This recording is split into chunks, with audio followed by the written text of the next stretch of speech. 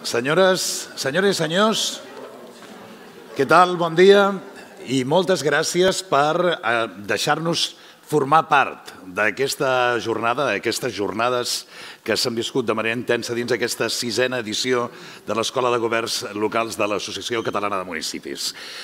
Posem punt i final al que són aquestes hores intenses amb una xerrada, jo crec, engrescadora per tots, eh, per tots i per totes les que avui estem en aquesta sala. Tots tenim interès en saber de què aniran les eh, municipals 2023. Ahir, quan pensava en l'anunciat d'aquesta xerrada, la primera resposta que m'ania al cap és vés a saber. Perquè si alguna cosa hem après, si alguna cosa ens hem adonat, és que falten nou mesos per a aquestes eleccions i en nou mesos passa de tot. Si alguna cosa hem après és que, efectivament, tot allò que avui sembla impossible, demà ens ho trobem a la primera, eh, a la portada de qualsevol diari. Que el món està canviant a una velocitat brutal, que estem eh, influenciats per una actualitat internacional que ens té el cor encongit per moltes eh, coses, per aquells fantasmes de tot allò que devenia. Ens estan parlant d'aquesta tardor tan eh, potent, del que passa a casa nostra, les relacions entre els diferents partits polítics, tant al país com a l'Estat. En fi, que diguem que segurament arribem a aquestes eleccions municipals 2023 amb un marc més convuls que mai, però més interessant que mai, també des d'aquest punt de vista. No? Per tant, segurament, una de les coses que eh, eh, ja arribem a la conclusió és que no sortirem tots contents amb, amb aquest anunciat. De què aniran les eleccions municipals 2023? Del tot no ho sabrem, malgrat fem tot l'esforç, les persones que estem aquí avui, per trobar aquelles claus que són comunes, perquè, evidentment, segurament, si aquí hi ha 100 persones requeriríem 100 respostes diferents a aquesta, a aquesta pregunta. No? És el que té la política municipal, que més enllà d'aquelles coses que són comunes, després trobem l'especificitat de cadascun d'aquests casos. No? En qualsevol cas, recordin que d'aquí una estona també eh, tindrem un micròfon a la seva disposició perquè puguin intervenir, perquè puguin fer preguntes a les persones que ens acompanyen, que són realment qui en saben del món de la política a casa nostra i les encarregades de donar-nos les claus que ens ajudin a dissenyar el que és l'estratègia per a aquests propers mesos. Els presento, anem per ordre eh, directament, eh, Ferran Casas, que com saben és el director de Nació Digital, eh, Sara González, que és periodista del periòdico des de fa molt poquet, acabada de només cinc dies, i que a més eh, per venir aquí ha fet una cosa que ens explicava ara fa una estona, que ha estat un petit treball de camp molt interessant, que ara de seguida li demanarem que ens expliqui. Joana Vallès. Eh, Joana Vallès, que com saben és eh, directora de continguts de la xarxa de comunicació local i amb una amplíssima trajectòria dins el món de la comunicació política també, i eh, Quico Sallés, que els he de dir, aquest company, periodista del món.cat i eh, expert també en, eh, en aquestes qüestions. No? La pregunta és la mateixa, per tant, eh, comencem per aquí, Ferran. Des del teu punt de vista, sí. de què aniran les eleccions municipals 2023? Se sent això? Sí. sí? Hauria. Què tal? Gràcies, Toni, eh, i gràcies a l'Associació Catalana de Municipis. Moltes gràcies per convidar-nos i moltes gràcies per la feina que feu eh, pel municipalisme, que al final en reverteix en el benestar de tots els ciutadans. Eh, aquestes municipals de 2023, jo m'he preparat quatre punts o quatre eixos o no sé si punts de provocació que puguin donar una mica de, de peu al debat sobre de què aniran. No? Jo crec que en primer lloc eh, aniran de Barcelona. Es parlarà molt de Barcelona, ja sé que molts de vosaltres sou regidors de municipis petits o de municipis mitjans, però ja sabeu que en unes eleccions municipals, sovint, malauradament, Barcelona eh, és, el, és el motor i el reclam i pels mitjans de comunicació, sobretot eh, les dinàmiques als pobles petits, es vota la persona, a vegades s'oblida el partit, s'obliden les sigles, la gent té més idea o més percepció de quina és realment, més opinió sobre quina és l'obra de govern, però com més gran és el municipi, no?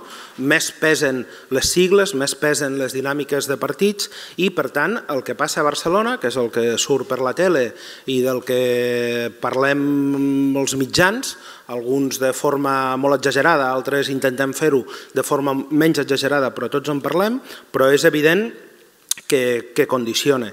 Si mirem, jo crec, una mica quin és el context a Barcelona, jo crec que podem convenir, o almenys aquesta és la meva opinió, eh, que estem davant d'un esgotament eh, i un desgast molt evident de la figura i del govern en Dada Colau, mm, que segurament podrem convenir eh, que li falta que Barcelona té un problema de relat com a ciutat, no? de què vol ser, cap a on eh, vol anar Barcelona. Ja eh, en el que és la seva formació política amb els comuns i sobretot quan van arribar un bon diagnòstic o una bona lectura de quins eren els problemes de la ciutat, però les solucions eh, no han arribat. No? I actualment doncs, està perduda en un debat Barcelona entre aquesta mena de decadentisme màgic, no? de fins a quin punt la ciutat eh, està, està en decadència i problemes com la delinqüència o quin ha de ser el, el model turístic, perquè és evident que el model turístic dels darrers anys, que no és només culpa o responsabilitat d'Ada Colau, sinó també de les forces polítiques que l'han precedit en l'acció de govern, i aquí evidentment doncs, hi ha Convergència i Unió, hi ha el Partit Socialista, hi ha Esquerra Republicana, que ha estat durant molts anys sòcia. Eh, aquest govern, ai, aquest, aquest model perdó, de turisme ha tingut uns efectes nocius en la convivència i en el que és el model de ciutat, no? eh, que s'ha notat doncs, en la petjada en molts barris, amb un model de gentrificació, que ha dificultat doncs, poder seguir vivint a la ciutat. Per tant, eh, jo crec que aquest eh, és un, eh, és un gran repte, un gran debat que té pendent la ciutat de Barcelona o que ha de fer en aquestes eleccions municipals i aquest debat doncs, té múltiples derivades, des dels creuers a les superilles, que també tenen a veure amb el model convivencial a la ciutat. Després, a nivell polític, jo crec que mesuraran aquestes eleccions si realment l'estat de forma del PSC és tan bo com ells afirmen i com algunes enquestes han, han demostrat, si eh, va el tema del PSC, l'estat de forma va de Barcelona o va de Pedro Sánchez, també els efectes que pot tenir l'atomització de, del vot independentista. Fins fa poc Junts per Catalunya no tenia realment cap opció de fer-se amb l'alcaldia de la ciutat de Barcelona. Si ara, tal com sembla, estan intentant convèncer el candidat és Xavier Trias, doncs és evident que això pot tenir un impacte i els principals perjudicats d'això poden ser eh, el PSC i sobretot Esquerra Republicana, eh, Ernest Maragall, que va guanyar les darreres eleccions i que és amb qui fa eh, més, més frontera electoral.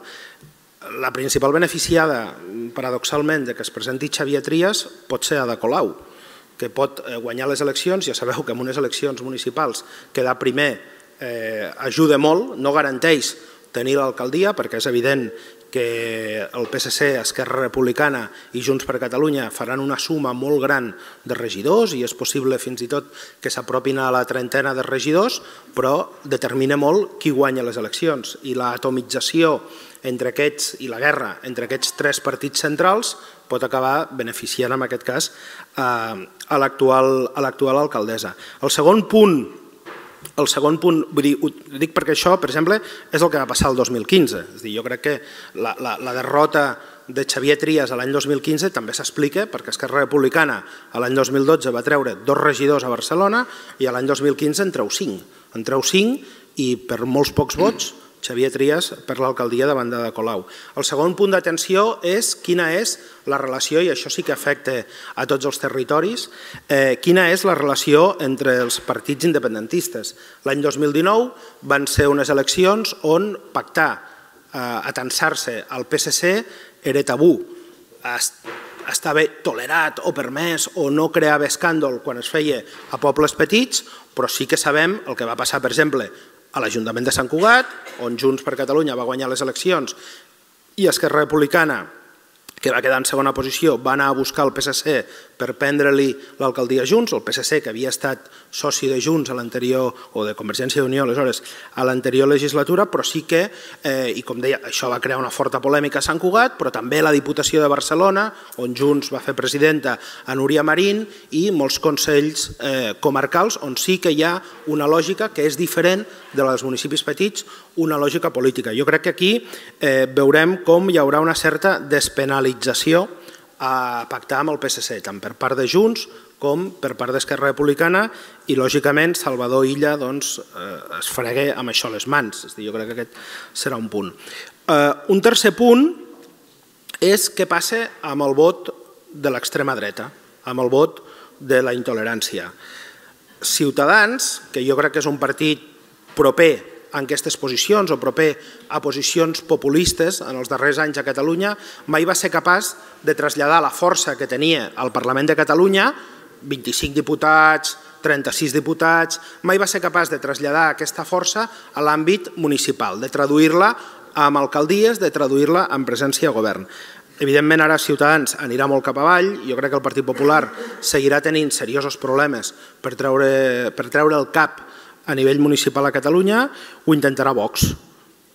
Veurem Vox realment quina capacitat té de recollir eh, aquest malestar als barris, eh, de treure suc del seu discurs d'odi i més amb, un, amb una clau com l'actual, que és una clau que jo crec que podem estar d'acord i així passa el quart punt i vaig acabant, de eh, absoluta emergència social. No?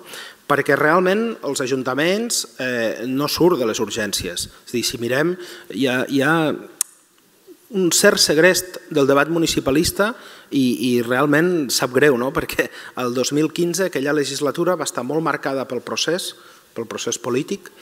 Eh, la del 2019, aquesta que ara tanqueu, haurà estat molt marcada per la Covid i la del 2023, doncs, eh, la crisi d'inflació i la possible recessió que ens ve i totes les conseqüències que està tenint eh, la guerra d'Ucraïna amb temes com el preu de l'energia, doncs pot condicionar molt el dia a dia dels ajuntaments, no? aquestes urgències socials que es plasmen amb els menjadors escolars, en el transport escolar, que alguns consells comarcals se'n fan càrrec i altres no. Amb el tema de la pobresa energètica que afecta molts veïns i la tasca de mediació que molts cops els serveis socials dels ajuntaments, fins i tot d'ajuntaments petits, amb suport del Consell Comarcal o directament han de ser els alcaldes els que se n'ocupin i amb les, amb, amb les empreses eh, energètiques és eh, complicat, no? perquè sovint doncs, els alcaldes i els ajuntaments us toca fer-vos càrrecs de competències no són vostres, no? i l'explicació aquella de això no és competència nostra, l'Ajuntament no se'n pot ocupar, doncs de portes en fora pot ser còmode, però evidentment explicar-la a dins en un poble, explicar-li a un veí que segurament pensa que l'única porta a la que pot anar a trucar és a la del regidor, és a la del seu alcalde, doncs és, és, és molt, molt difícil i també crec que és una mala praxi o malament rai del representant municipal que, perquè no és competència seva, doncs es desentén de problemes socials com els que, malauradament, en la propera legislatura tocarà, o en el proper mandat municipal tocarà afrontar. Doncs aquests són una mica els quatre... I anirem tornant, sí. necessàriament anirem tornant a tots aquests punts, perquè efectivament jo crec que el Ferran ha fet un passeig per qüestions que són absolutament eh, claus no? a, a l'hora de, de pensar en com seran aquestes eleccions eh, municipals.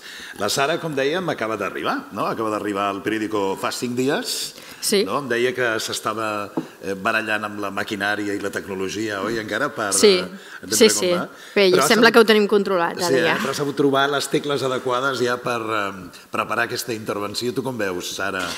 Eh, tot plegat? Com, com ho veus? Doncs mira, ara deies, eh, estic acabant d'aterrar en un nou àmbit laboral, però, però sempre em sento com acabada d'aterrar a qualsevol lloc on em toca xerrar, com avui mateix, no? i em pregunto, què puc aportar jo?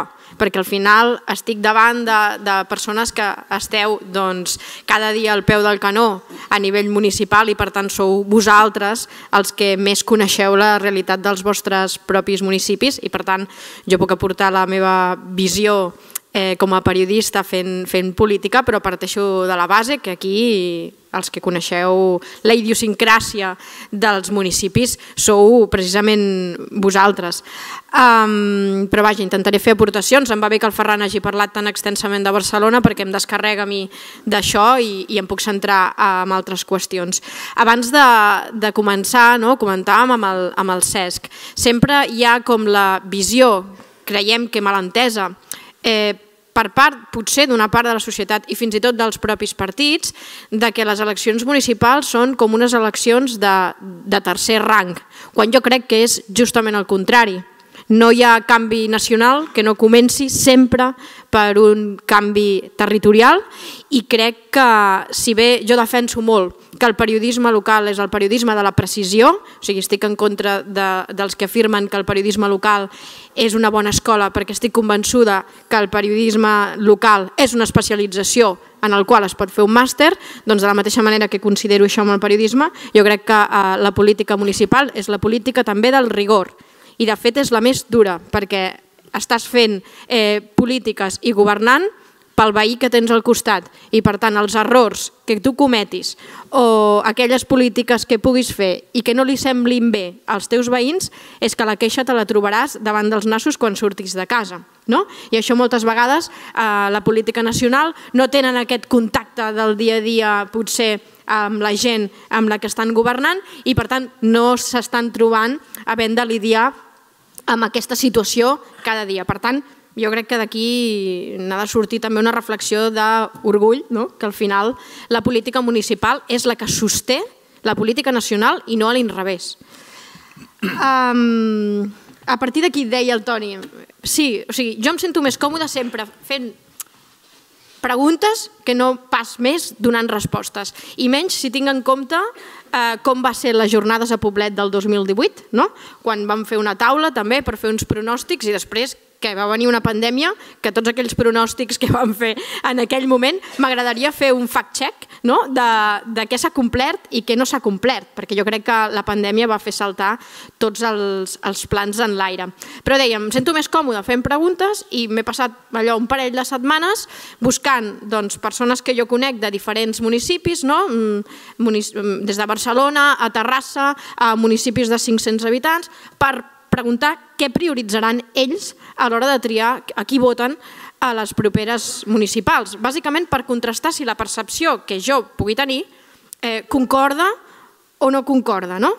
I tot i que evidentment hi ha diferències, hi ha, sí que hi ha un fil conductor i jo crec que eh, podem concloure que aquestes eleccions municipals seran les eleccions de la postpandèmia i les eleccions també d'aquesta crisi econòmica que tenim a sobre amb aquesta inflació i amb aquesta crisi energètica. No?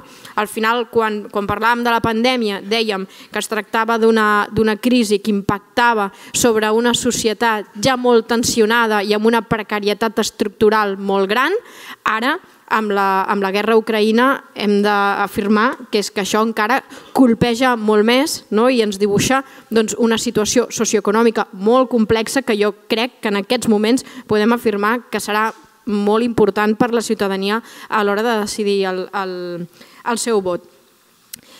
Si repassem les dades, són desoladores, no fa falta recordar, estem fregant el 26% de taxa de risc de pobresa, com que avui en dia tampoc és garantia que el fet de tenir una feina et permeti viure amb dignitat, estem parlant d'un entre un 12 i un 15%, segons les dades que, que he pogut trobar, de llars on hi ha persones que treballen però que viuen igualment en la, en la pobresa i, evidentment, amb un context d'inflació del 10,5%, salaris mm, precaris, això es tradueix en problemes per poder fer front a la factura de, de la llum i, i del gas, en comprar els productes bàsics, en poder pagar l'habitatge, més ara també amb la pujada dels tipus d'interès, no? que això també afectarà les hipoteques i en aquests moments no sabem l'abast eh, que això pot tenir sobre, sobre la població i encara de venir l'hivern, amb tot el tema de la, de la crisi energètica i sumem també una situació de sequera on a ciutats com Barcelona ens podem trobar en una situació insòlita de restriccions d'aigua.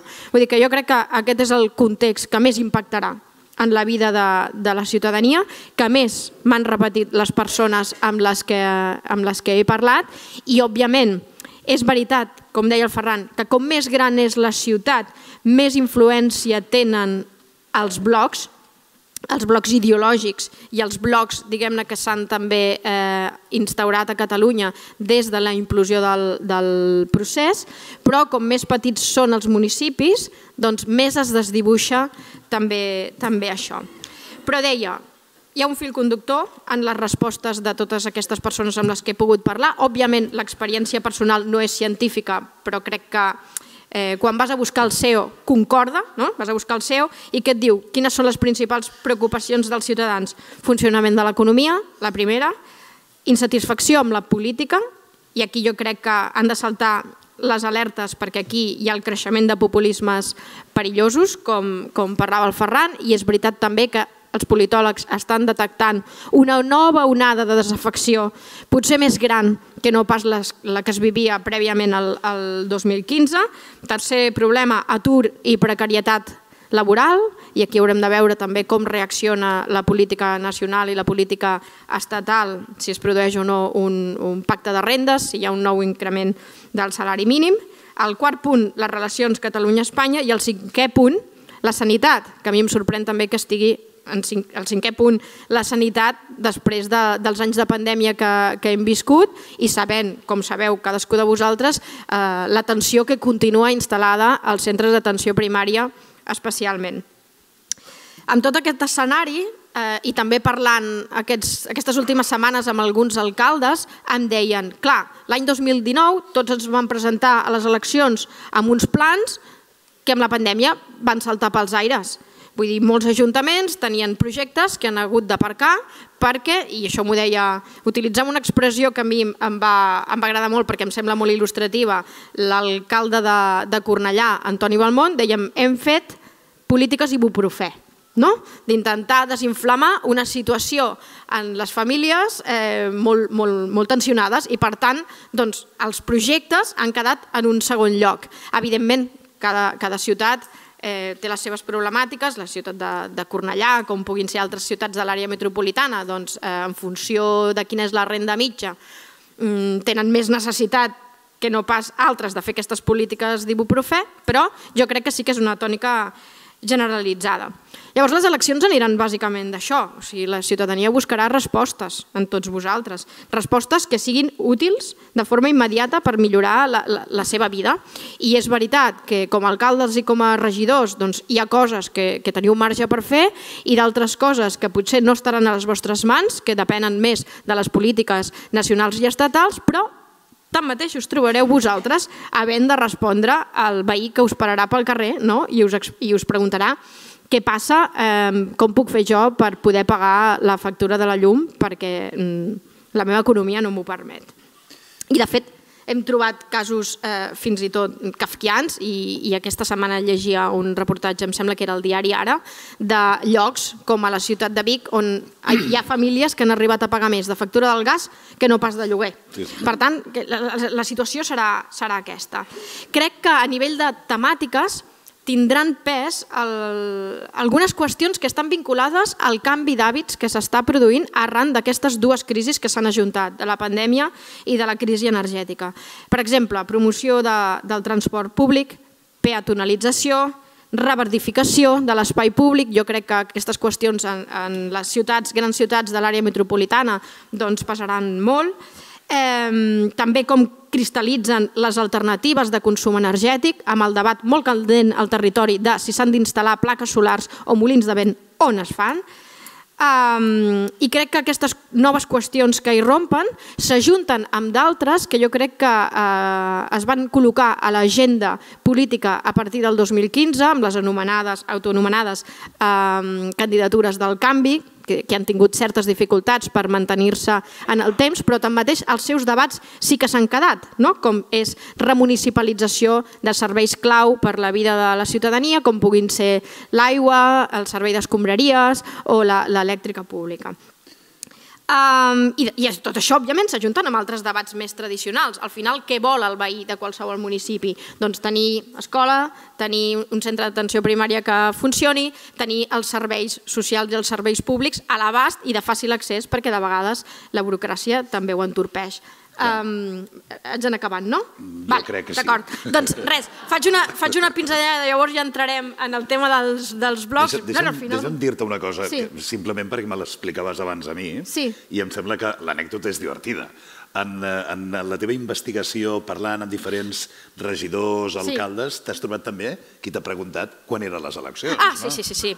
Sí, sí, sí, clar, clar, clar, aquesta és una altra. Aquesta és una altra. Donem per fet tots els que estem en aquesta sala no? que tothom té 100% al cap no? que les pròximes eleccions són el mes de maig de l'any que ve. Doncs no. Doncs no. No, no.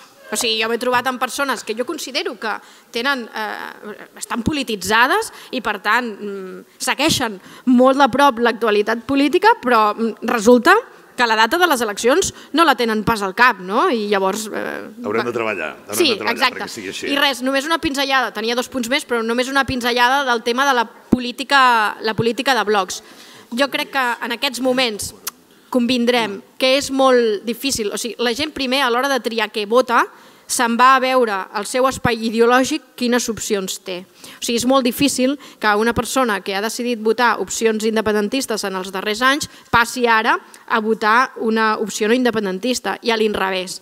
Això realment és molt difícil. Però si hi ha unes eleccions on això pugui passar, és justament a les eleccions municipals. Per què? Perquè el pes de la proximitat i de coneixença de la persona eh, és, és determinant.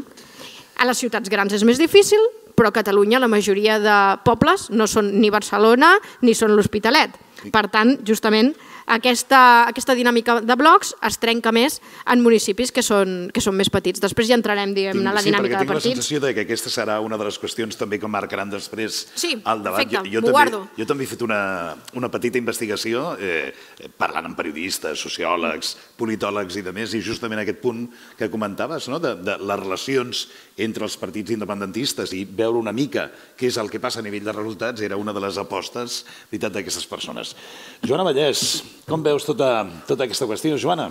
Uh, hola, bon... No, no he d'apretar res, no, no toquis, que si no mos... Va bé, va bé, jo crec, eh? Vale, vale. Uh, primer sí, que res, uh, bon dia a tots, uh, gràcies per convidar-nos, gràcies per la feina que feu, gràcies per a ser els, els defensors de, dels ciutadans. I jo potser perquè sóc la més veterana d'aquí, eh, quan el Cesc em va dir, eh, ens va anunciar, ens va dir l'anunciat, no? de, de què aniran les eleccions municipals, ja li vaig dir, calla, deixem anar a buscar la bola de vidre i desempolvar la bola de vidre perquè realment a dia d'avui és molt difícil saber de què aniran les eleccions. Jo crec, mm, per a mi sí que hi ha un tema base que crec que serà el que centrarà aquestes eleccions jo crec que sigueu del partit que sigueu, sigueu de la formació que sigueu, tots en aquest moment teniu el mateix enemic, tots, que és l'abstenció. I jo crec que aquestes eleccions municipals aniran d'això, de combatre l'abstenció. Uh, si ens remontem al 2019, que van ser les darreres, uh, veníem... Um, d'una eufòria nacionalista marcada per, per l'intent de proclamar una república, per molta gent al carrer, per, per sentir-nos orgullosos de ser el que érem i de sentir-nos orgullosos i amb ganes de tirar al davant un procés. Eh, això va ser el juny del 2019, veníem d'un 155 que ens va tallar les ales amb sec. El 155 eh, s'aixeca el 2018, hi ha unes eleccions eh, a la presidència del Parlament de Catalunya i allà comença una nova, unes noves ganes de tornar a començar un procés, de tornar a batallar. O sigui, que hi havia molta gent, la gran majoria d'aquest país, que estava eh, amb una idea al cap, creient un projecte, uns partits d'un àmbit nacionalista molt compactats, dos blocs molt marcats, Eh, aquelles eleccions del 2019 per a mi van ser, eh, crec jo, eh, que van ser un, una prèvia de lo que havien que serien les, tot i que hi havia hagut no, les del final del 2018, hi ha un resultat, passa el 2019, el 2019 venen les municipals, o sigui, són fetes molt en clau eh, del procés, i tot i estar fetes molt en clau del procés, ens trobem amb un 35% d'abstenció damunt de la taula. Si això passava el 2019, que estàvem tots eufòrics, què passarà aquest juny? Un juny que ve amb la política del descrèdit, la política de l'emprenyada, la política que s'ha deixat de banda, la política de qualitat per a passar a fer la política del tuit. Que preferim fer un tuit a anar a solucionar problemes, a barallar-nos, a estirar-nos, a tota aquella gent que sortíem el 17, el 18 i el 19 al carrer i que els veiem tots junts, ara els veiem tots separats com el gat i el gos.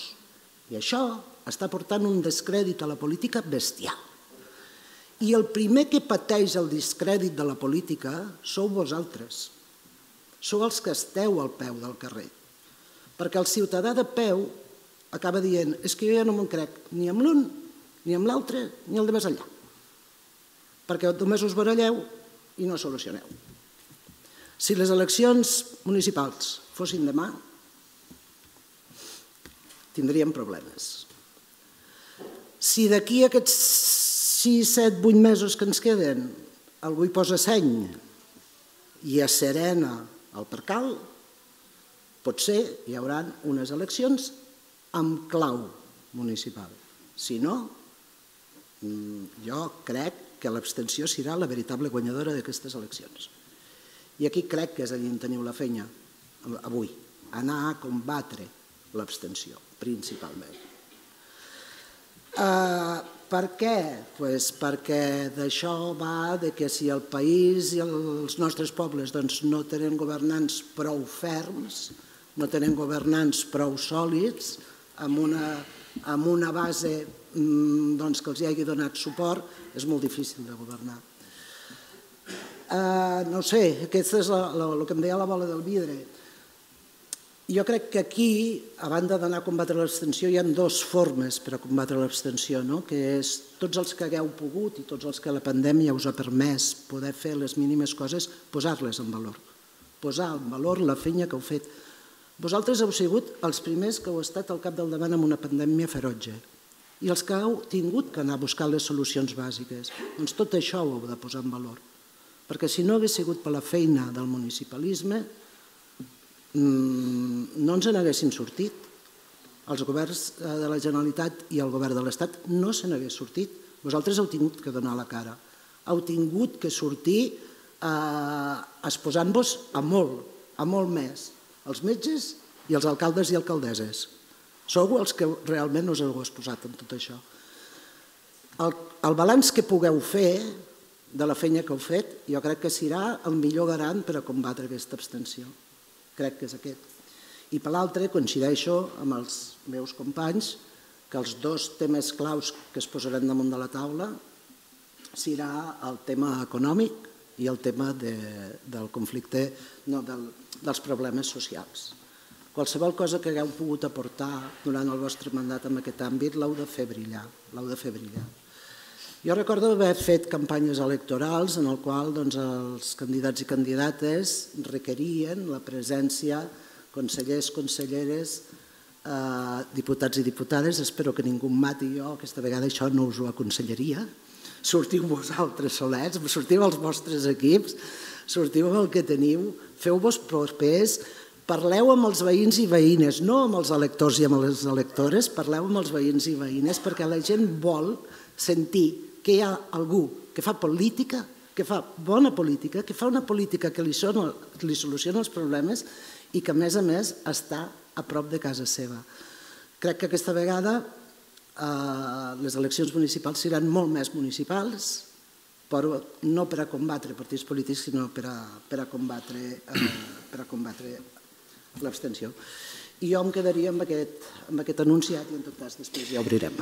El veí, el veí del costat, el ciutadà de carrer, són expressions que van sortint i que efectivament eh, és la política municipal la que li posa cara a aquest eh, veí del costat, a aquest eh, ciutadà eh, o ciutadana eh, de carrer. Eh, una de les qüestions que en parlem, eh, en parlarem d'aquí una estona també, és justament la clau que, que parlava la Joana, el valor de, del candidat o la candidata no? perquè efectivament la, la sensació ja vista des d'ara mateix és que és la política municipal moltes vegades la que paga les conseqüències de les altres polítiques. No? I això, efectivament, per això m'imagino aquesta cosa que deia la Joana de sortim al carrer i expliquem... Jo diria que també els regidors, eh? Sí, Ho dic eh? perquè sovint ens centrem en el candidat i aquí això sí, és una sí. feina d'equip. Sense de equip el candidat no funciona. Sí, sí, la gent del poble, la gent de la ciutat, la gent de... Quico Sallés, Com ho veus? Després ens posem a parlar de candidats i candidates i regidors i regidores. Abans el Quico Cellers que ens faci la seva anàlisi de què aniran aquestes eleccions municipals.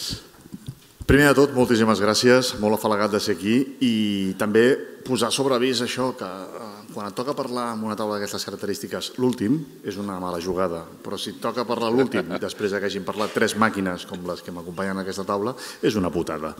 En tot cas, jo intentaré fer-ho el, el millor possible aportant a, a, a una visió simple. No sóc gaire, la Joana ho sap, no sóc gaire analista, de fet, el que em dedico a fer són 2.000 quilòmetres a la setmana i és, és el que vas veient una miqueta i el, el, que, el que es poses en subjecte, verb i predicat. I encendre foc. Encendre foc. Això també ho fem. Si voleu fer una bona costellera, porteu el Exacte. Et surt bé, et surt bé. Jo, jo crec que aquestes eleccions municipals, a la vista del que, del que han anat passant aquests darrers tres anys, més enllà del que comentaven els meus companys i per obrir un altre front, crec que aquestes eleccions també aniran de, de tres punts, bàsicament, que, que, que havia pogut resumir Uh, més enllà del que comentaven de les polítiques socials i sobretot de què són unes eleccions post-pandèmia, evidentment davant del fantasma l'abstenció. Una qüestió que jo crec que recull aquests, aquests tres punts és un debat que jo crec que serà molt imminent a ciutats, sobretot mitjanes i grans ciutats de Catalunya, que és el problema de la seguretat. S'ha establert el problema de la seguretat com un dels relats eh, amb més, amb més falsetat o, o, o més credibilitat o amb menys dades o menys, entesos que és un punt clau, de que hi ha una sensació general i, i, i generosa de manca de seguretat. I això ho veiem en, en una gran ciutat, per descomptat, com podria ser Barcelona, però també és una, és una qüestió que eh, ha despertat l'interès, per exemple, a una ciutat com Manresa, altres ciutats de l'àrea metropolitana de Barcelona, tant de la Catalunya ciutat com, mm, com una ciutat emblemàtica, que jo crec que políticament té molt pes i molt valor, com és Badalona. D'acord? És a dir, que si algun debat està incidint el que podria ser una formulació, jo crec que el debat de la seguretat és clau tenir-lo present i saber molt bé i com argumentar-lo, com defensar una gestió i innovar possiblement amb coses més aviat com polítiques de seguretat humana o seguretat pública.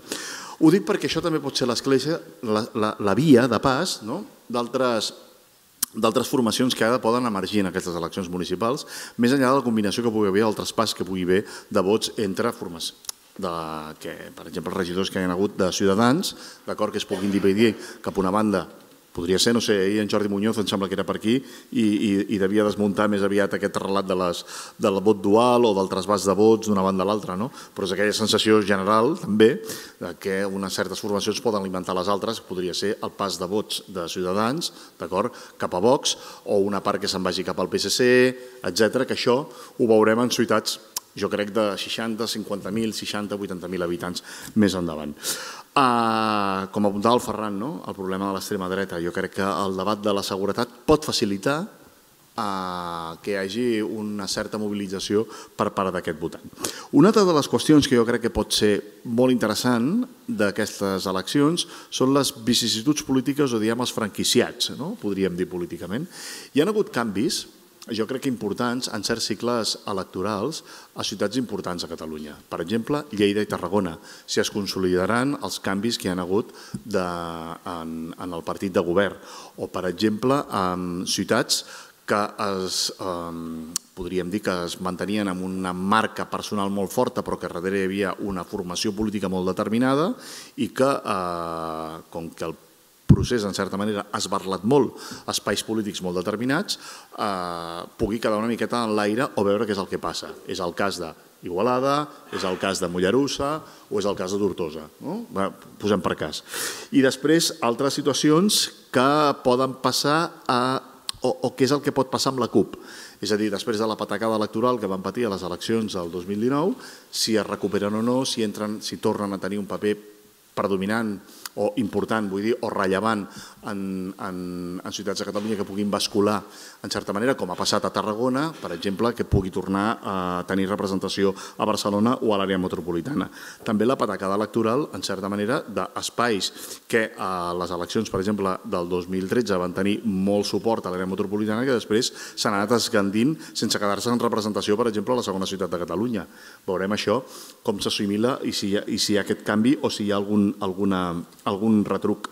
I després ens trobarem amb canvis generacionals dins del mateix partit. Per exemple, en Granollers, d'acord, que sempre ha estat un feu molt determinat, si un canvi a un any i mig de les eleccions o dos anys de les eleccions pot significar que hi hagi un canvi de relat, un canvi de grup, un canvi de confiança vers el candidat. Aquí és on estaríem si en una ciutat d'unes mides determinades però amb una idiosincràsia molt pròpia, d'acord, té tanta importància l'alcalde com l'equip com la marca de partit. Crec que això és molt interessant veure-ho i, a més a més, amb unes, amb unes circumstàncies polítiques i econòmiques com les que vindran.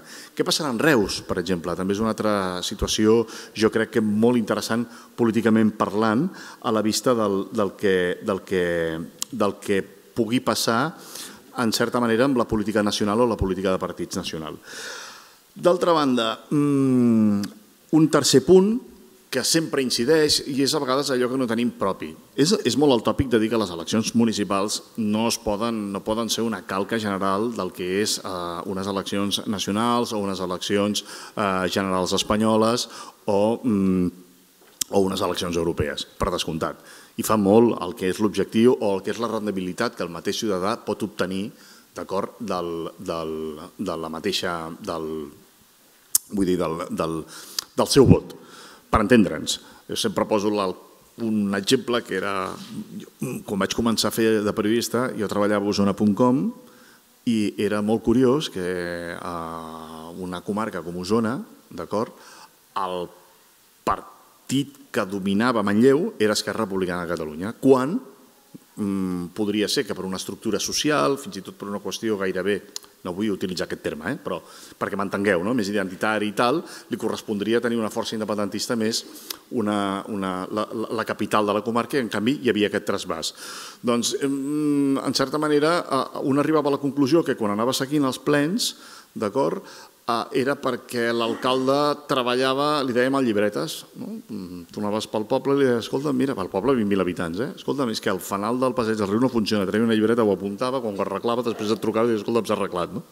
Això és un exemple, jo crec que és mm, un tòpic, però que en certa manera també funciona amb unes eleccions municipals que això a nivell general és molt difícil perquè a vegades obviem que la gestió o l'excel·lència amb el bon govern o la governació o la gestió virtuosa, per exemple, dels serveis eh, de la Generalitat, poden tenir un rèdit electoral.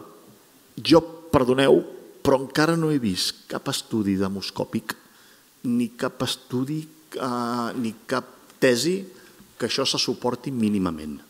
Pot haver-hi algun punt o alguna cosa, però a vegades la ciutadania, i quan una societat democràtica és més madura o ja està més acostumada a tenir una sèrie de drets i de serveis socials, o de serveis en general, ja dona per fet que la gestió ha de ser virtuosa per part de l'administració.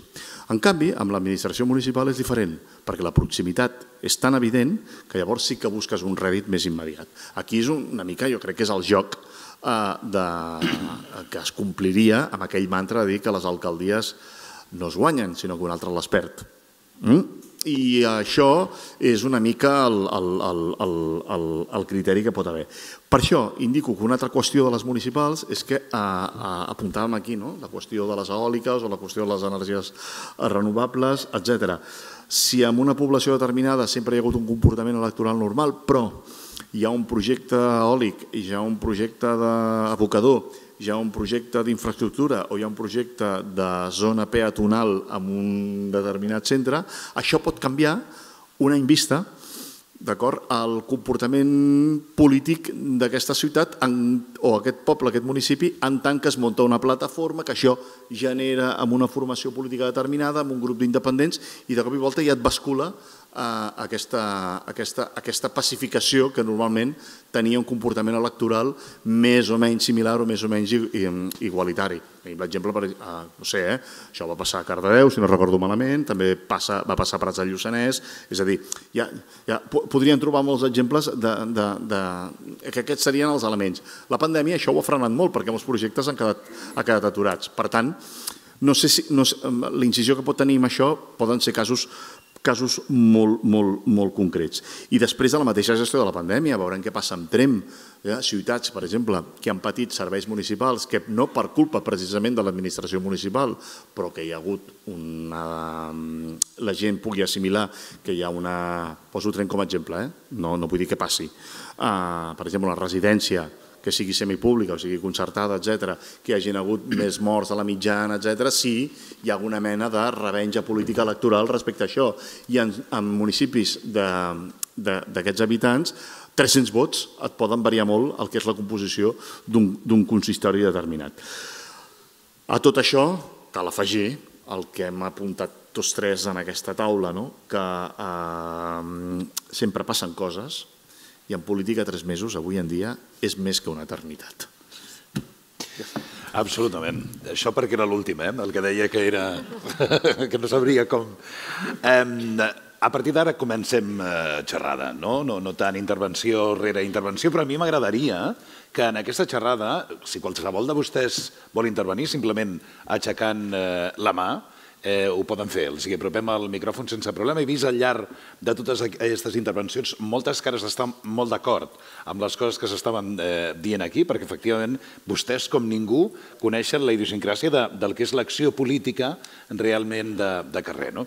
Una mica en aquests estudis que, que hem fet allò, gens científics, eh, dels que parlava la Sara i que jo també eh, comparteixo, jo m'he trobat aquesta, aquesta cosa segurament també per la setmana en la que ens trobem, no? que hem sortit de la diada, hem vist eh, tot el problema que hi ha ara mateix entre Junts i Esquerra Republicana, no? què està passant en el món de l'independentisme, i a mi em deien que efectivament aquest pot ser un, una de les claus potents, no? el, el veure què passa entre aquests dos partits polítics. Deia més la Joana ara fa una estona eh, que estem amb molta política de tuit en aquests eh, moments, que potser cal baixar més al carrer. Ell ha dit eh, textualment cal posar una mica més de seny.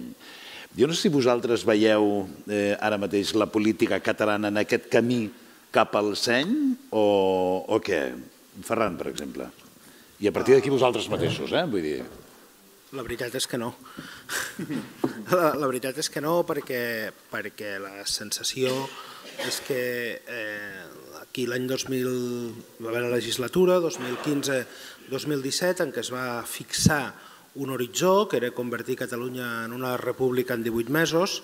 Segurament allò va ser una molt mala gestió de les expectatives, no? perquè el resultat no, no, no va ser l'esperat, hi va haver moments molt dolços, com l'1 d'octubre, però crec que també hi va haver moments amargs eh, per l'independentisme com el 27 d'octubre, no? perquè anar a un Parlament i votar una declaració d'independència i després no moure un dit per fer-la efectiva, jo crec que podem estar tots d'acord en què és una molt mala gestió política. No? A partir d'aquí, eh, com que no hi, hi ha hagut entre les dues principals forces independentistes i crec que tampoc la CUP, és a dir, dins el propi bloc independentista, no hi ha hagut un diagnòstic compartit sobre què és el que va passar i què és el que va fallar a l'any 2017, ja no cal dir que, evidentment, aquest diagnòstic compartit tampoc hi ha sigut amb, amb, amb altres forces polítiques que representen altres sensibilitats del nostre país, doncs com el PSC, eh, com els comuns, o ja no cal dir-ho, amb els partits de la dreta unionista, el Partit Popular, eh, Ciutadans i Vox, però dins del propi bloc independentista no hi ha hagut un diagnòstic compartit sobre què és el que va fallar, què és el que, va funcionar, què és el que no va funcionar. No? I això s'ha arrossegat durant cinc anys i bueno, nosaltres eh, hem escrit un munt de vegades de dir no, tancaran un acord de coordinació estratègica abans de les eleccions per presentar-se eh, amb uns objectius comuns i compartits, no van ser capaços, després abans del debat d'investidura tampoc van ser capaços, després ho tornen a intentar i ara doncs, estem en aquesta situació. Eh, que quins efectes pot tenir? Doncs jo estic molt d'acord amb la Joana amb el tema de la mobilització i l'abstenció, és evident que una gran batussa entre els partits independentistes pot desmobilitzar a una part del seu electorat i, per tant, afavorir a altres opcions polítiques, perquè l'abstenció, evidentment, no és inocua, l'abstenció té efectes i afavoreix algú, eh, i després també pot tenir clarament un efecte sobre els pactes. És a dir, jo abans Eh, a la meva intervenció parlava de la pressió que hi havia l'any 2019 per tancar pactes entre partits independentistes i no eh, ser deslleials no? i anar-se'n a pactar amb el PSC perquè era el partit del 155, de la repressió. Doncs és evident que en un context de batussa entre Junts per Catalunya i Esquerra Republicana això serà encara més un campi qui pugui, no? perquè, perquè si ja veiem que són dirigents d'un partit polític que abans el que ens deien en privat els periodistes, els retrets que es feien els uns als altres en privat, ara ja se'ls fan públicament i un li diu a l'altre que és un tarat, l'altre diu que no sé qui és un mentider o és un indocumentat i tot això ja es diu públicament, doncs sembla que sigui difícil que siguin capaços després d'unes eleccions municipals, si les coses no canvien, de sentar-se en una taula, de seure's en una taula i dir doncs, com es pacten diputacions, com es pacten consells comarcals o grans ajuntaments.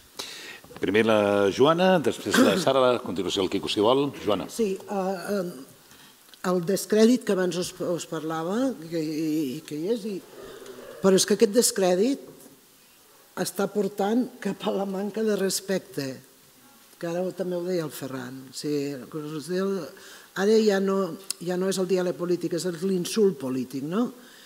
I això està arribant, com us deia, suposo... Mira, el novembre de l'any passat estava parlant amb uns alcaldes del Berguedà i em deien, és que surtes al carrer i els, i els veïns, diu, a vegades diu, no et parlen com et parlaven abans, t'insulten.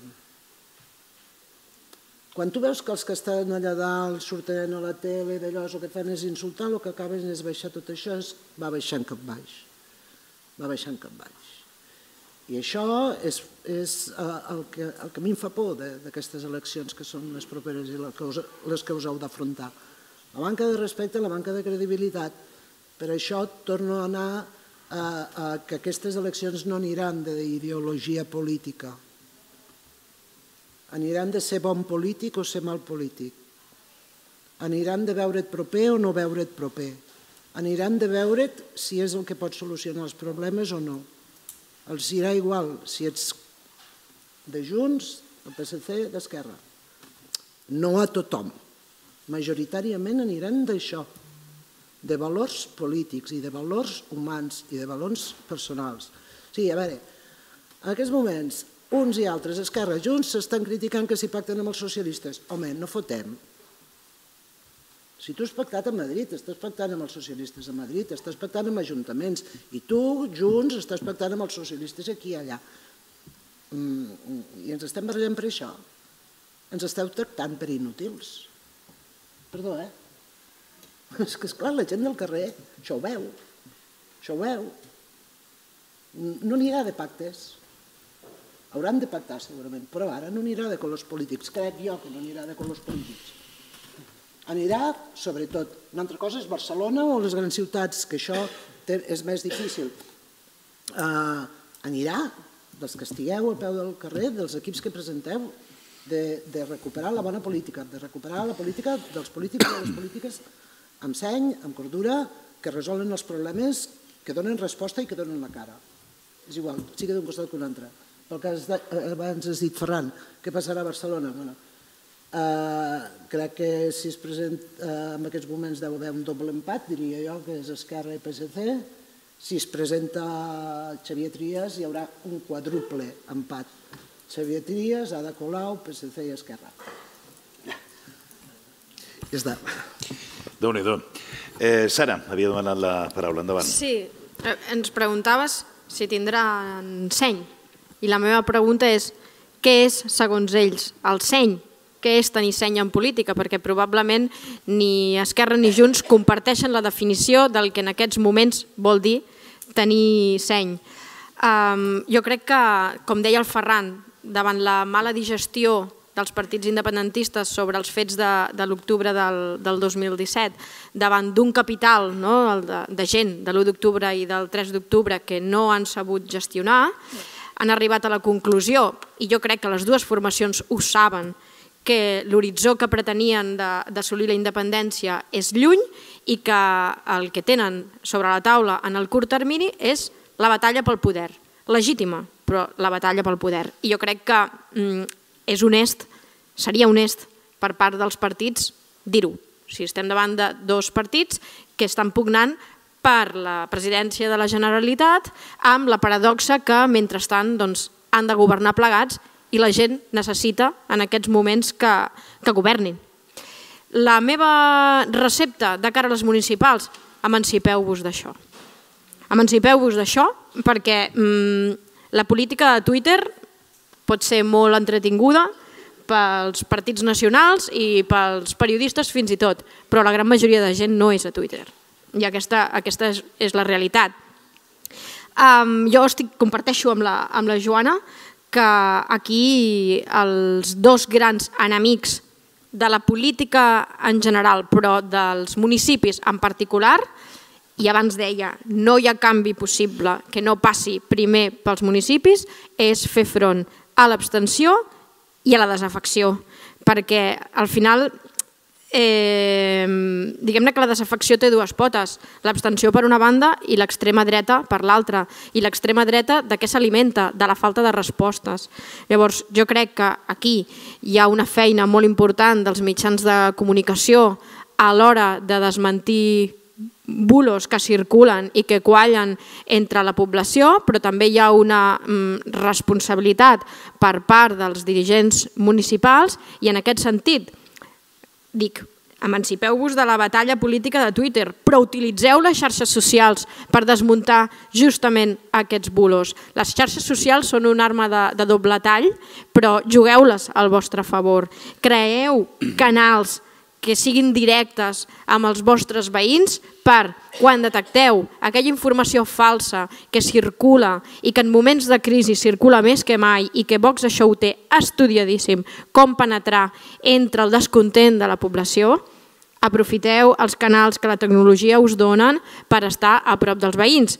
No només els canals, òbviament també, um, ho parlava la Joana també, proximitat, proximitat, proximitat no? És veritat que la política municipal és dura i que la tensió del procés ha fet que moltes vegades els municipis es convertissin en un ring, però és que crec molt sincerament que més enllà del ring que pugui haver-hi en aquests moments a la política nacional, crec que no serà el que determinarà què passa a les eleccions en la majoria de municipis. Altra cosa és si les dinàmiques nacionals acabaran influint en les eleccions a, a Barcelona, però fins i tot començo a tenir dubtes de que això sigui així, de que la política nacional acabi determinant eh, què passarà a Barcelona. Crec que en aquests moments no serà, no serà així.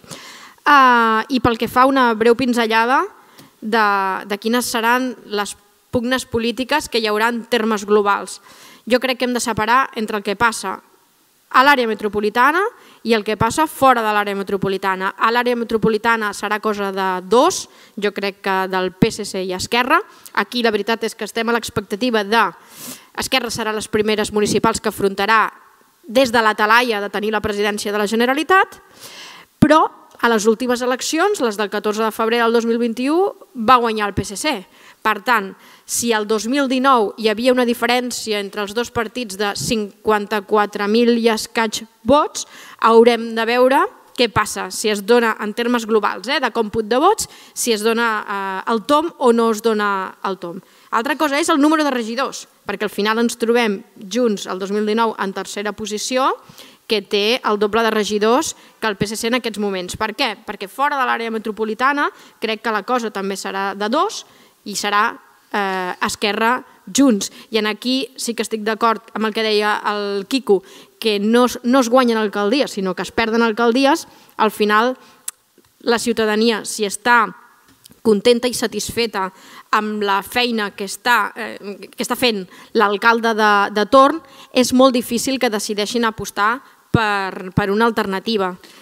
Cada, cada, cada una d'aquestes intervencions donaria per parlar, no? Eh, jo, jo m'estava plantejant que potser de cara a la setena Jo he callat perquè he vist que aquí... No, no, no, estava pensant que seria interessantíssim parlar del Twitter, no? perquè eh, el Twitter, les xarxes socials que ara, que ara estàvem comentant, són en realitat mitjans de comunicació.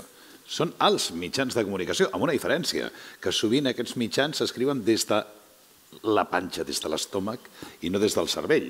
I això ho acaba contaminant tot plegat eh, moltes, moltes vegades. No? El, el plantejament era les relacions eh, en el món independentista s'hi podien condicionar, però aquí s'han dit moltes coses. Quico, no sé cap on ho vols portar. Mira, ja que has dit, jo t'estalvio ja a la sisena escola, Twitter és un bar de borratxos, punto. Que bo. Jo estic d'acord. Per tant, és important tenir-lo. A mi m'encanta Twitter, perquè sóc un borratxo. Sí, jo, jo, jo ho admeto. A mi, no, a mi no, jo, Anar jo detesto, bar i detesto de Twitter. cervesa. És per anar de I festa. divertir-me. És per anar de festa, Jo- no? eh, Clar. Ara me'n recordo una vegada, Clar. vaig entrar en un bar de xinesos, havia tots els xinesos i vaig dir al cambrer, diu, hosti, que has desmuntat el futbolín. Però vaja, el... el, el, el, Sí, sí. Per la barbacoa, eh? absolutament políticament incorrecte, però vaja, és igual. Eh? Uh, uh, uh, referent a això dels xinesos, també voldria fer una reflexió. Uh, uh, els polítics últimament estan corrent un perill una mica... Jo crec que això també s'està contaminant el que és la política municipal. I és que els polítics només es reconeixen entre ells mateixos.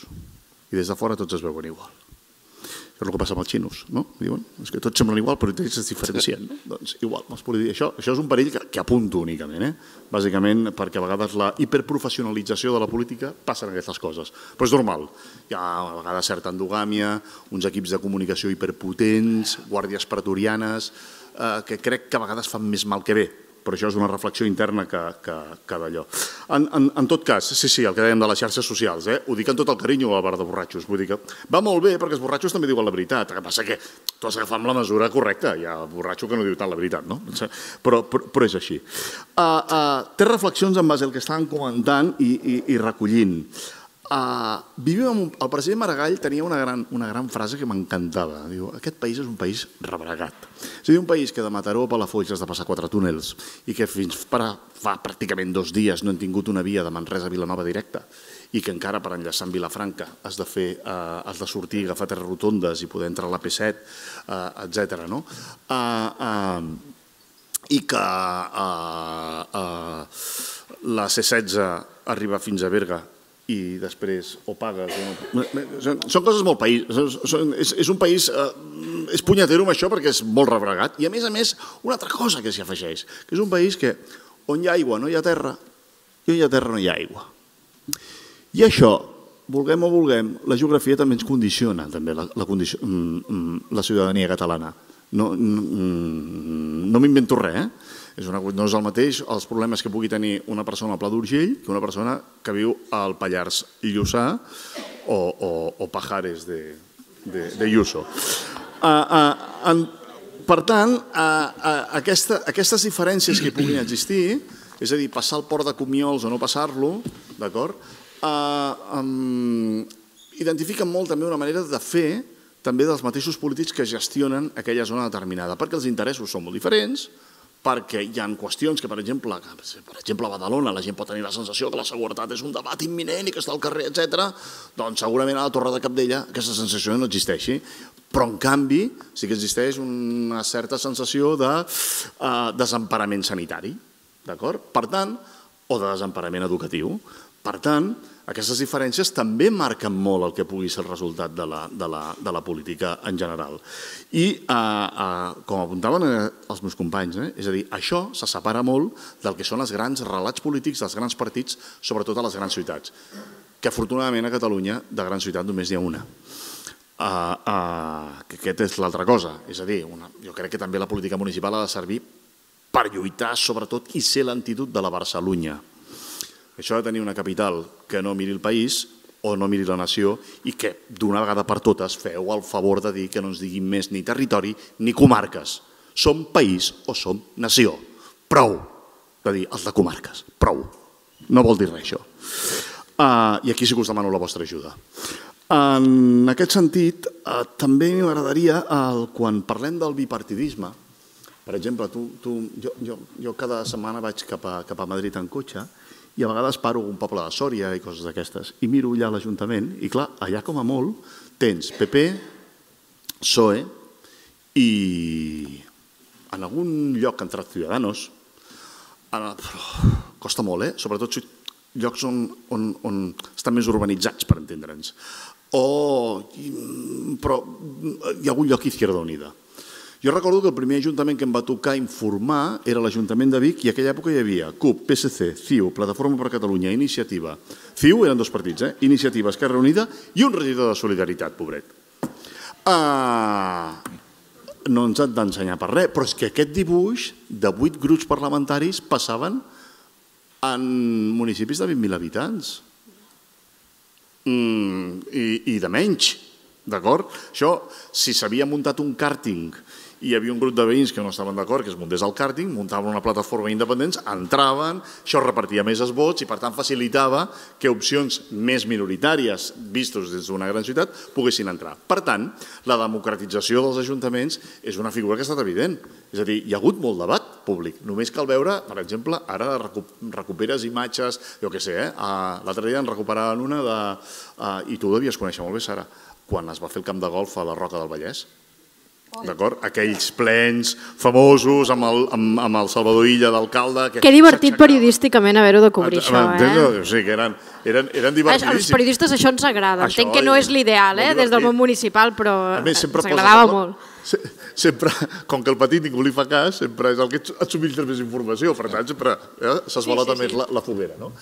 Uh, uh, ja, aquesta és una situació que també passarà a aquestes eleccions, és a dir, com, com dèiem abans.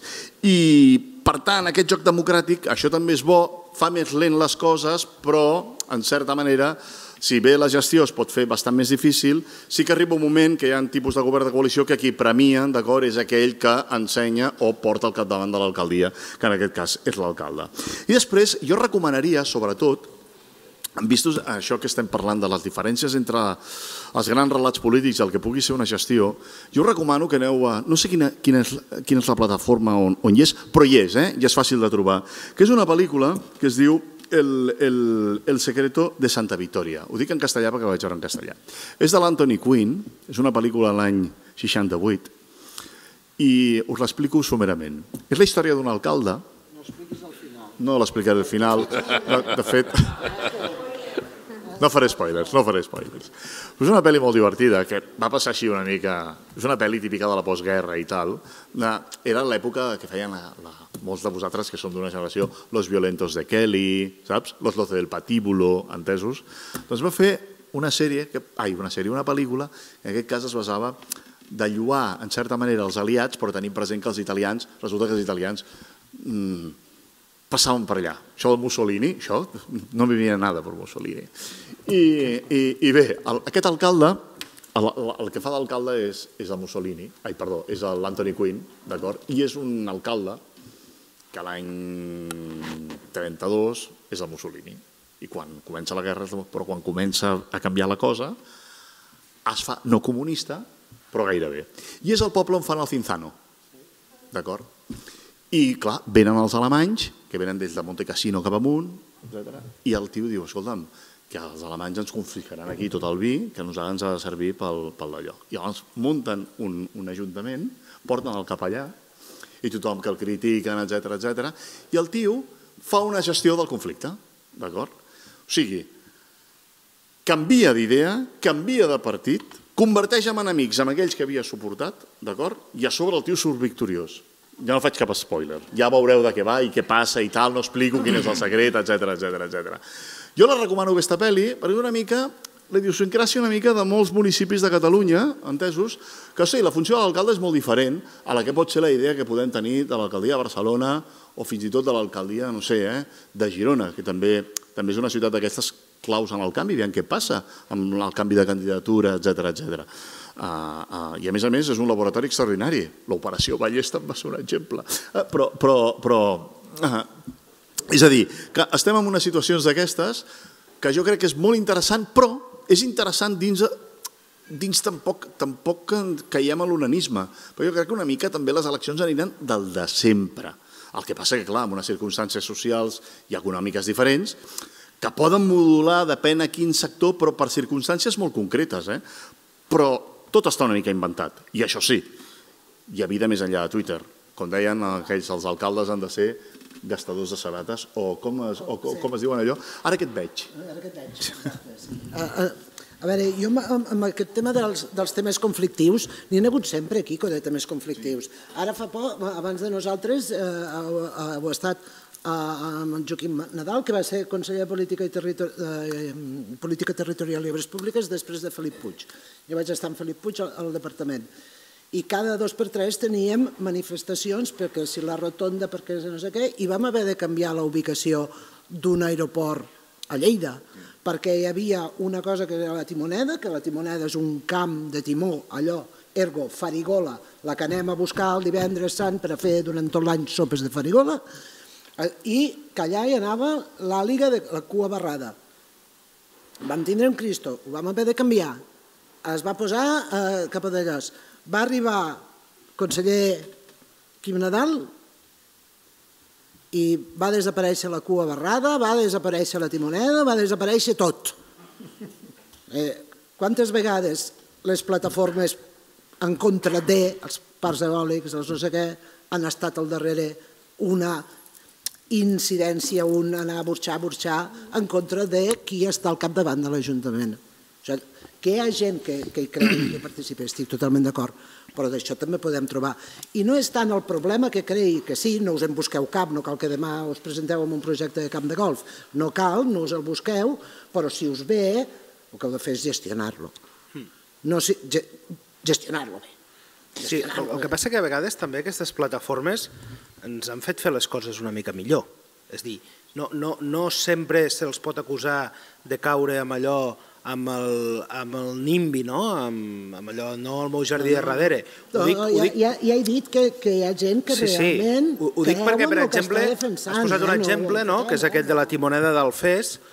Bé, es volia posar a l'aeroport primer la discussió de si Lleida necessita o no necessita un aeroport que donaria bastant de sí i, i jo crec que no és el nostre àmbit d'expertesa. Ara, és evident que els paratges del FES, esteparis, eh, tenien un valor o tenen un valor ecològic i que l'aeroport, en lloc de posar-se al FES, es va acabar posant al Guaire. Bé, hi ha pràcticament la mateixa distància des de Lleida al FES que des de Lleida al Guaire. Jo crec que el FES van estar contents i el Guaire també, per tant, no, no, no, no veig amb això un excessiu problema.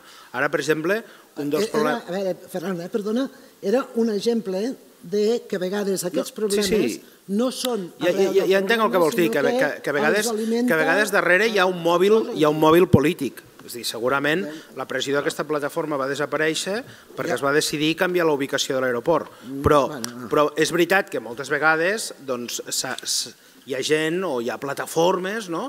que s'agafen al tema de defensa del territori o al tema ecològic doncs, com a maniobra de desgast cap a un ajuntament o cap a un govern. Ara, també jo crec que hi ha debats que s'han de fer. Ara, per exemple, que estem amb tot el tema de la transició ecològica, la descarbonització, tots estem a favor, evidentment, de les energies verdes, de les energies renovables, però almenys jo personalment no estic gens a favor de la barra lliure i de que aquesta barra lliure vulgui dir concentrar parcs eòlics, parcs solars de centenars d'hectàrees a la Terra Alta, a les Garrigues, a la Ribera d'Ebre, a la Conca de Barberà, perquè a més és que sempre són les mateixes comarques, sempre són les comarques del sud de Catalunya. Aquestes quatre comarques i les Terres de l'Ebre. Sempre hi ha un bombo, no? un bombo on, on ara farem un, una planta d'incineració de residus. Oh, ha tocat a Ribarroja, casualitat.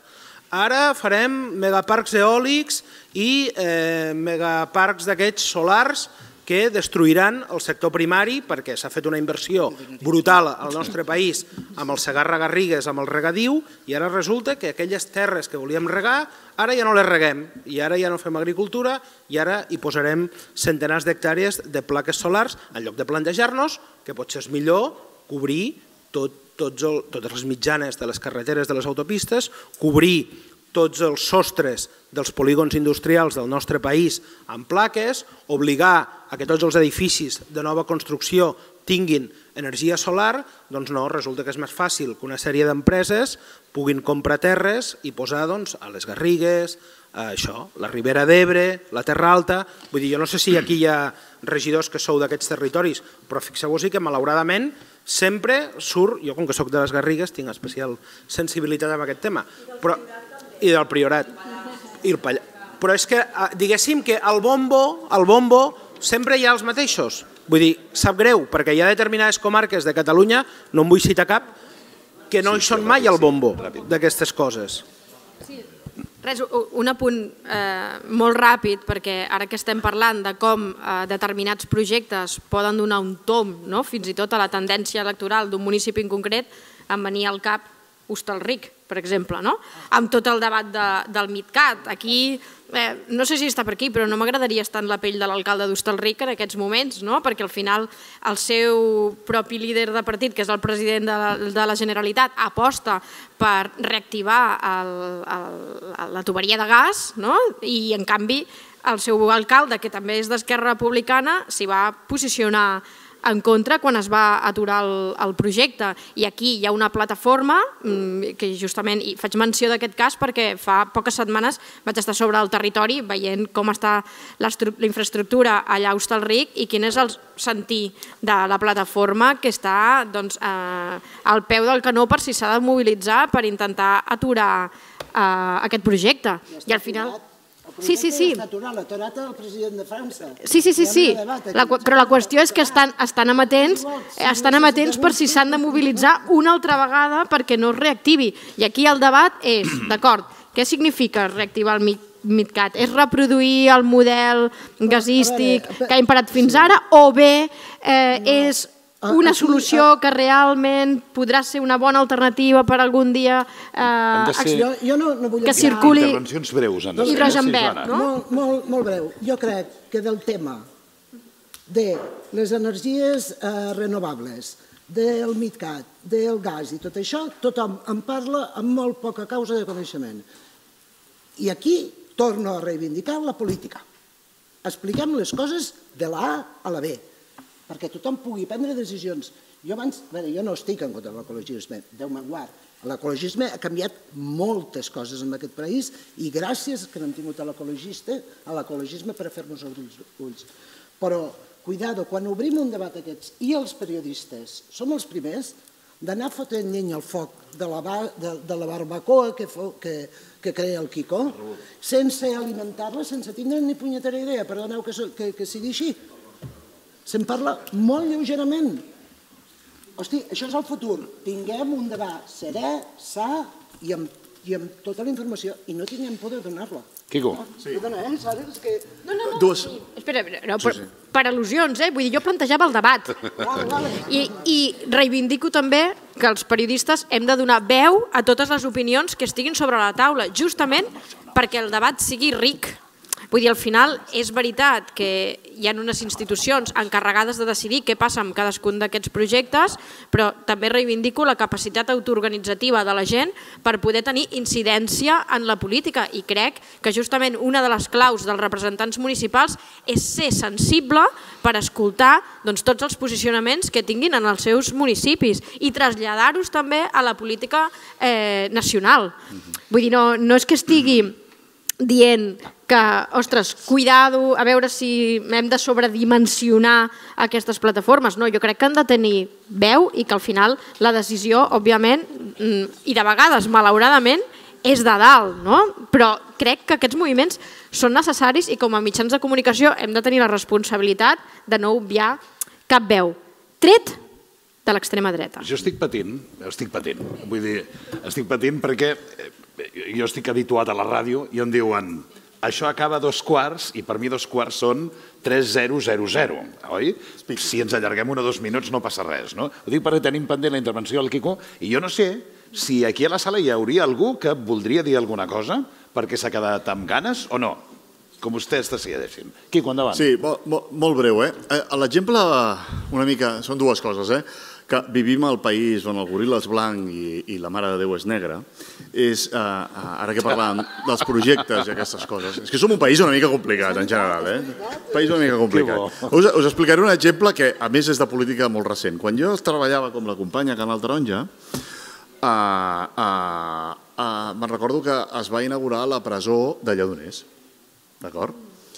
I, vaja, plataformes, tots els partits. Aleshores governava el PSC a Sant Joan de Vilatorrada, el millor poble del món, per descomptat. Som l'Hospitalet del Bages, Teniu tota la indústria, veniu a fer tapes, tenim el coll baix... No obris aquest foc, No, ja obris aquest foc. És preciós. aquest Ja hem foc. tornat al bar. Vaja, Vinga. total, a, a, a, a, a, el que dèiem, a, i, i clar, tota plataformes en contra, presó no, la presó de Bages no, etc i tal, tal.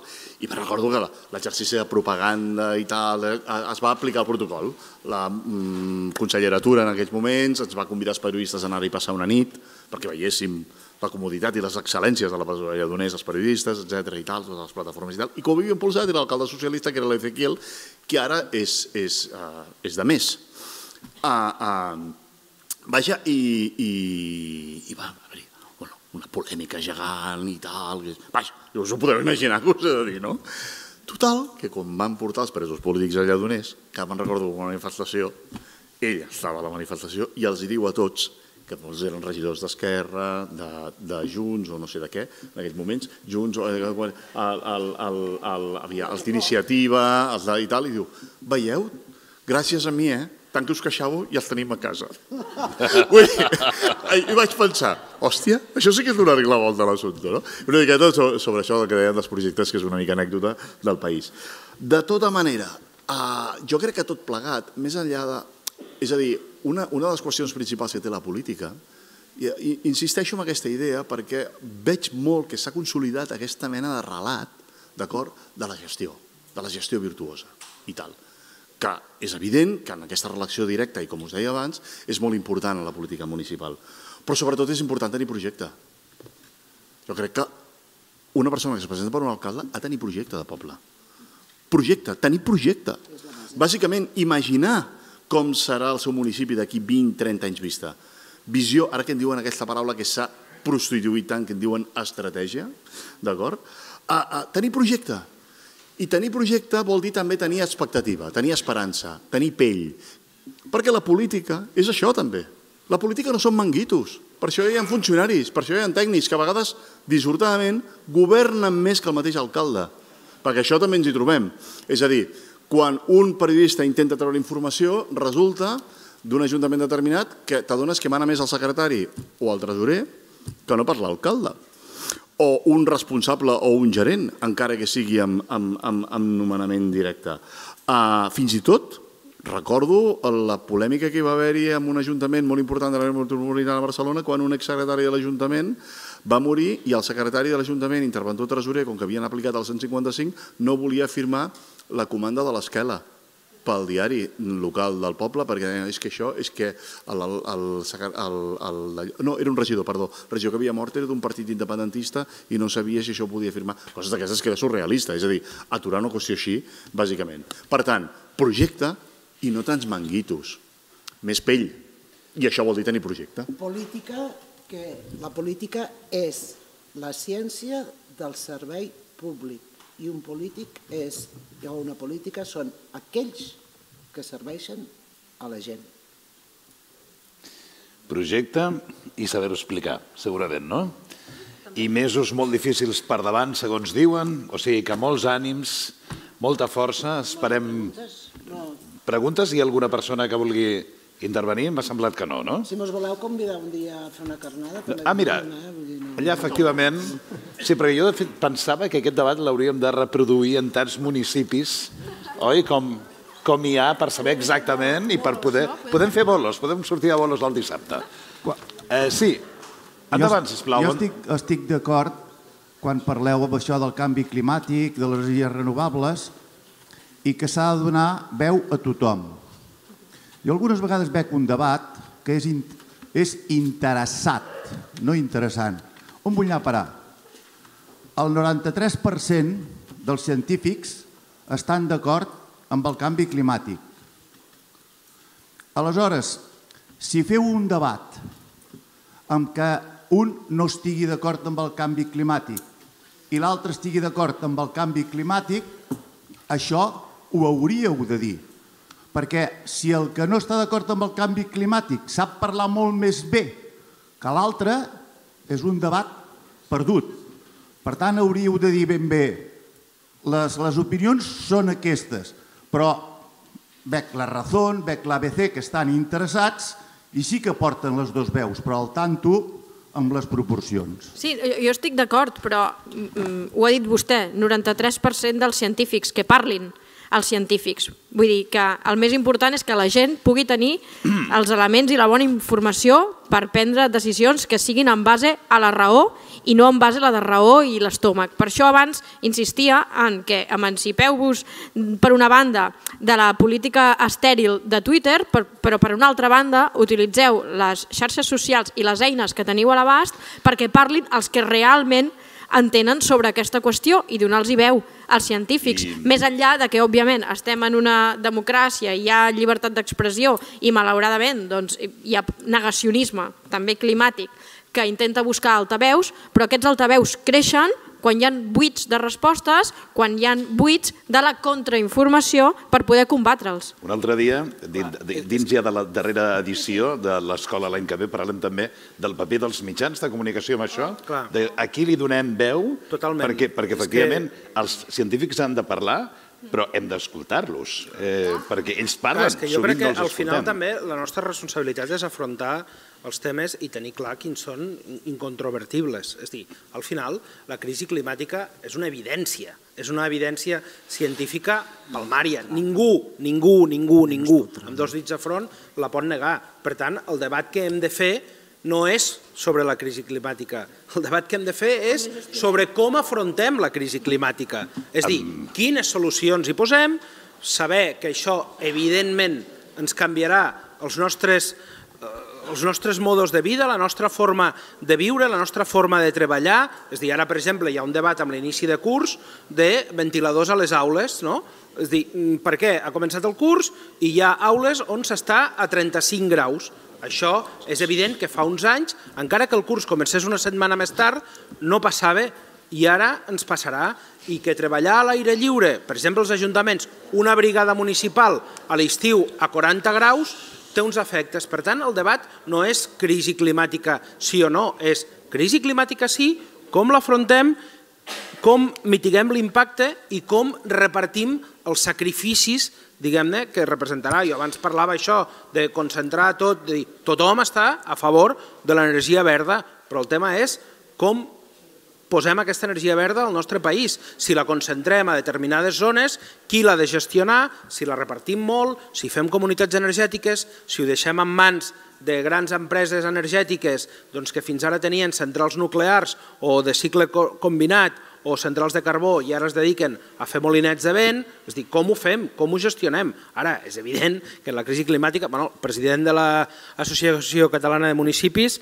és de Deltebre, vaja, mm, només, vull dir, el Delta de l'Ebre és la zona zero del, delta, del canvi climàtic al nostre país.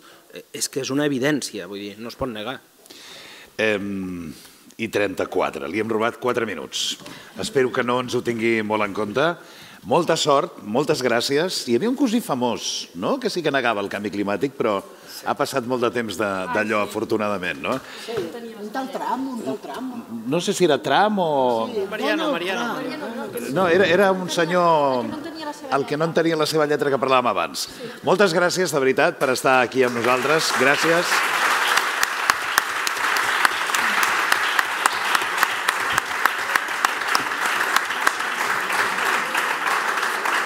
Joana Vallès, Sara González, Quico Sallés, Ferran Casas. Gràcies. I ara sí... Eh, gràcies.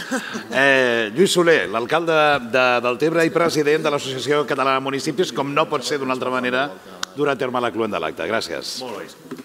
Creus, creus. Molt bé, bona tarda a tots i a totes i m'han deixat aquí preparat per a ficar-me aquí darrere amb la bandera i tot plegat, però com estem fora del protocol, ho fem des d'aquí davant, que és el que, és el que toca. Deixeu-me començar donant gràcies a tots els, els periodistes que ens han precedit amb aquesta taula rodona sobre de què aniran les eleccions municipals i, per tant, moltes gràcies per la visió inspiradora, però també per la pluja d'idees que ens ha fet pues, un toc d'energia forta per a que quan sortim tots i totes d'aquí ens fiquem ja a treballar no amb visió el 28 de maig del 2023 que està a tocar a 8 mesos. Per tant, Quico Sallés, Joana Vallès, el Toni Marín, la Susana González i el Ferran Cases, moltes gràcies no, per donar aquesta visió. Arribem doncs, al final d'aquesta sisena escola de governs locals. Eh, saludar també al vicepresident Xavi Paz, a la Maria Pilar Cases, eh, també membre del comitè executiu, a la Joana Ortega, secretària general, al gerent de l'ACM i a l'equip que capitaneja el Cesc Iglesias, que han muntat pues, tota l'escola eh, de governs locals. I la veritat és que com a Associació Catalana de Municipis, durant aquests dos dies, durant ahir la tarda i avui i aquest matí, pues, hem vist no, pues, diferents ponents, diferents persones que ens han inspirat moltíssim, però sobretot ens han donat una injecció no, de, molta, de molt d'impuls per tot allò que hem de reflexionar per a que aquests 253 dies que ens queden abans del 28 de maig acabin sent 253 dies que els puguem aprofitar amb la màxima expressió. Poc eh, ens pensàvem, ara fa pràcticament tres anys i mig, eh, poc ens pensàvem que viuríem un mandat municipal tan i tan i tan convuls, no? tan convuls. Ho dèiem aquest matí eh, amb, el, amb la ponència del Xavier Marcet eh, molt difícil no? pues pensar que ens podíem trobar pues, amb una pandèmia sense precedents, que ens ha marcat pràcticament dos anys del curs polític i de lo que seria l'agenda municipalista, poc ens podíem pensar no? pues que viuríem en un context eh, polític pues, que vindria d'una certa eufòria nacional i que acabaria marcant pues, estructures i regles del joc que moltes vegades eh, marquen un cert punt de provisionalitat o un cert punt de complexitat, si més no, poc podíem pensar pues, que l'emergència climàtica, que ara tot just parlàvem, pues, acabaria eh, portant estranys i malsons a nivell de territori com els que hem tingut durant aquests quatre anys, tres anys i mig, o poc encara ens podíem pensar pues, que ens trobaríem amb una guerra en clau eh, no, europea que també acabaria provocant pues, aquest context de crisi de preus, aquest context de crisi internacional que traslladat als nostres municipis també ens està provocant molts malsons i molts mals de caps a nivell no, pues, de licitacions i de tot plegat de lo que estem treballant per enfocar el tram final del mandat municipal. I per tant, pues, amb tot aquest context, no, amb aquest context de voràgide i d'oscil·lacions eh, molt, molt, molt importants, molt intenses, el més proper, no, i ho vam veure ahir, amb el, amb el, amb el Jordi Sauret, amb, amb la presentació de l'Observatori Municipal, veiem pues, que la ciutadania eh, d'aquelles coses que més valora amb l'Observatori Municipal, amb l'enquesta que hem fet des de l'Associació Catalana de Municipis, d'aquelles coses que més valora de cara a les properes eleccions municipals és el paper del candidat o el paper dels equips municipals que han liderat no, durant aquests quatre anys. Ho valora perquè la ciutadania, al final,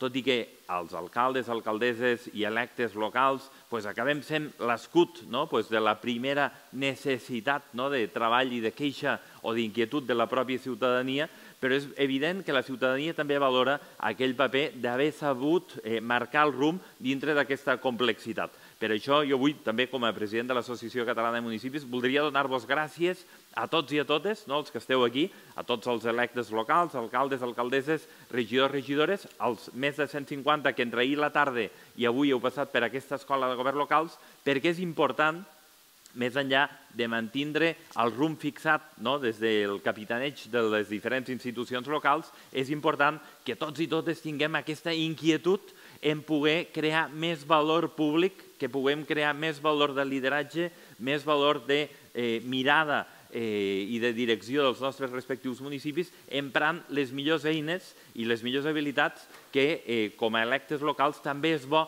que les tinguem. Fa una estona la Sara no, parlava pues, del descrèdit de la política i la Joana parlava pues, que el gran enemic eh, seria d'aquestes properes eleccions municipals seria l'abstenció. I l'única manera de combatre pues, que el, valor i la solidificació de les nostres institucions locals és crear lideratges clars, és crear projectes sòlids, és crear cohesió. Cohesió i visió i mirada en projecte, com deia també el Quico, projectes de municipi i tot això, des de l'Associació Catalana de Municipis, també ho volem donar als nostres electes locals. Per això, durant aquests tres anys i mig, eh, han passat pràcticament 15.000 persones, 15.000 electes i tècnics locals, per les més de 200 accions formatives que hem anat fent. I han passat també amb aquesta capacitat emergent no? d'innovació, amb nous postgraus, amb nous cursos que anem, eh, que anem treballant i que anem ofertant a la nostra, a la nostra en aquest cas, al nostre públic objectiu, que són els electes i els tècnics locals, per poder servir millor. No hi ha millor forma, no hi ha millor forma que encapçalar o que en aquest cas afrontar les properes eleccions municipals que fer-ho des de la consistència d'allò que representa la necessitat de la ciutadania, que és saber eh, ser, no? en aquest cas, saber que els seus electes locals poden escoltar. Aquest matí ho deia el Xavier Mercet. Però ahir la tarda també el Daniel Tarragó no, eh, ens, ens explicava i una frase que va dir molt, molt potent, que després vau fer la, els diferents treballs, i de dir, moltes vegades acabem dient, no, no, és que això no és competència municipal. No, i, i ell ens deia ahir, tot el que no és competència municipal però que representa la inquietud de la nostra ciutadania acaba sent d'incumbència municipal. I per tant aquesta incumbència municipal, que és la necessitat de donar resposta a allò que no podem donar solució de forma proactiva, però que sí que traslladant-ho al millor instrument que són els lideratges forts a nivell municipal, pot acabar marcant no? tendència o pot acabar marcant punt d'inflexió d'allò que la ciutadania representa, és allò que ens permet que després també ens valorin més a nivell de lideratges municipals. Per tant, què us vull dir amb tot això? Pues amb tot això us vull dir que arribem a la cloenda de la sisena Escola de Governs Locals de l'ACM i ho fem de la millor forma possible, marcant eh, pues, una oferta d'accions, de, serveis, però també d'accions formatives als nostres electes locals, per tal de que en aquests vuit mesos que queden, en aquests 253 dies que queden fins al 28 de maig, tingueu eh, la possibilitat que en aquesta casa gran del municipalisme que representa l'Associació Catalana de Municipis trobareu totes les eines i habilitats per a que puguem donar el millor servei i la millor resposta a la nostra ciutadania. I també a nivell de transformació de la nostra societat amb les regles del joc que marquen els paradigmes legislatius. Per això, aquesta tardor, no, i davant d'aquest descrèdit també no, doncs del món municipal moltes vegades o de la classe política moltes vegades que no ens ho mereixem de forma justa i que per tant ho hem de combatre també des de les regles del joc, aquesta tardor, des de l'Associació Catalana de Municipis, engegarem el comitè d'experts per a treballar l'Estatut de l'electe local, un marc normatiu que volem que entri en vigència no? i volem traslladar al govern, al Parlament, a les nostres institucions, per tal de valoritzar tot aquell que els 365 dies de l'any té al seu horitzó que la seva motivació és servir a la ciutadania i mai servir-se.